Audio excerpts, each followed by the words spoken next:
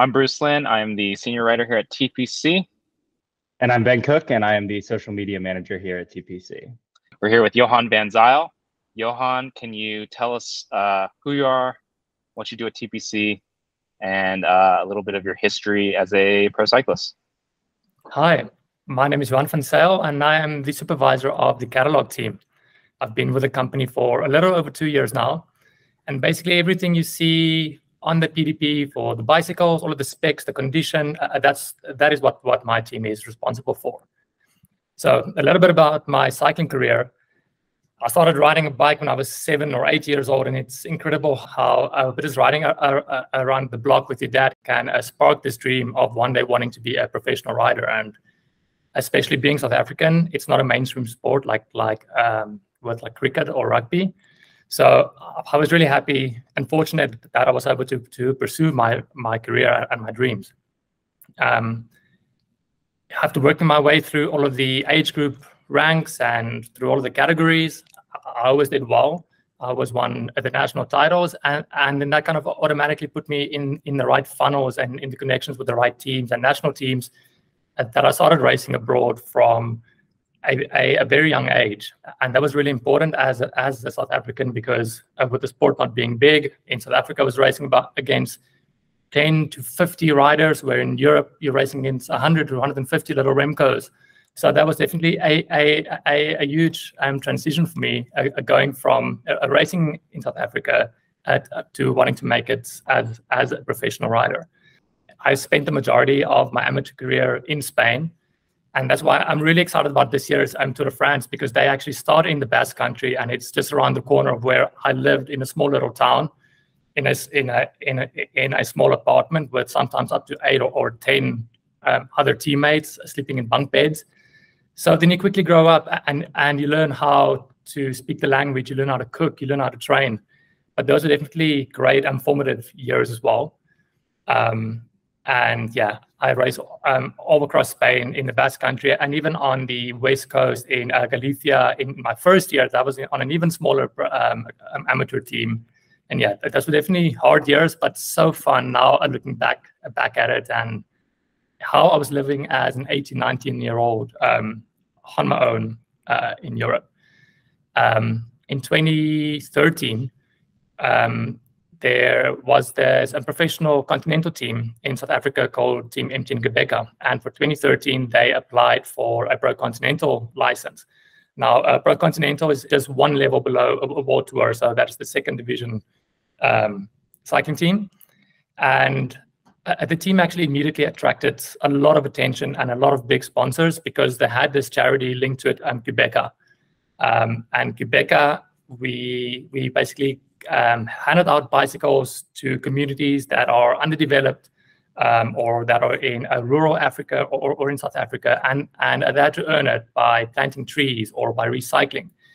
And it's incredible how a bicycle changes the life of them because sometimes they have to walk to school for two hours, and now they could ride the bike there for 30 minutes. So it improved their lifestyle, their grades, um, and just their their general well-being.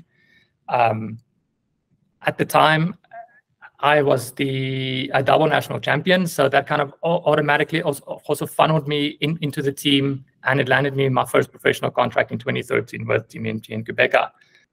Awesome. Um, so you uh, previously mentioned uh, you worked as a domestique. Can you, uh, I guess, basically explain what a domestique is, or what your role on the team is, and like what sort of tasks you do, like in a Grand Tour, for example? So the role of a domestique is kind of to be everywhere and anywhere. I would get bottles for the leaders. I would, I would, I would, I would grab their feed bags.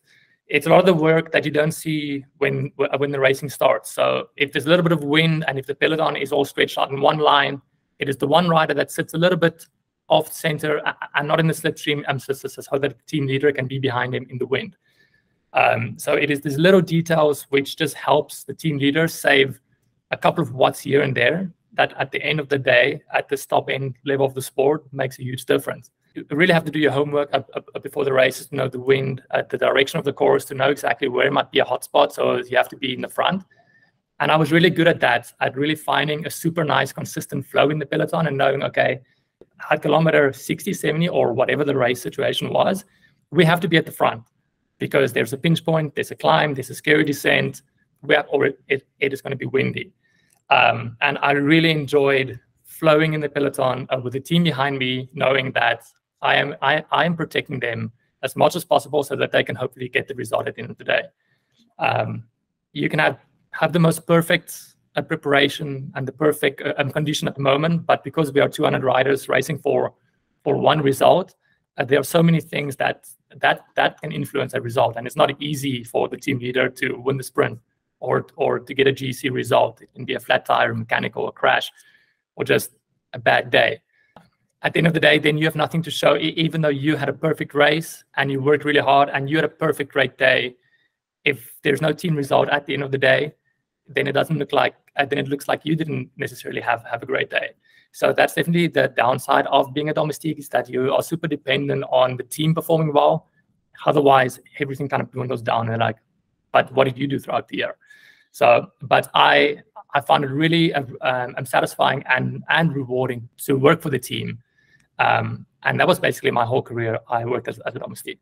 In in 2013, I spent the majority of the year um, finding my feet in the professional peloton and being on a small continental, um, small pro continental African team. It definitely was was was hard to to uh, fight for our position, um, uh, but with the attention of the charity we we uh, we signed big riders like Gerald Ciolek, and I don't know if if you remember, uh, but in 2013, uh, the team actually won in San Remo, which was a crazy day, a lot of snow, and you can just imagine for a small pro continental team winning one of the biggest monuments in the world, how much that meant, and things kind of snowballed there. Next year, we signed even bigger riders, even bigger sponsors. Um, and ultimately, it, it, it led to the team growing so much where we signed Steve Cummings, Edvald Boasson-Hagen, like the whole Cav group with Bernie.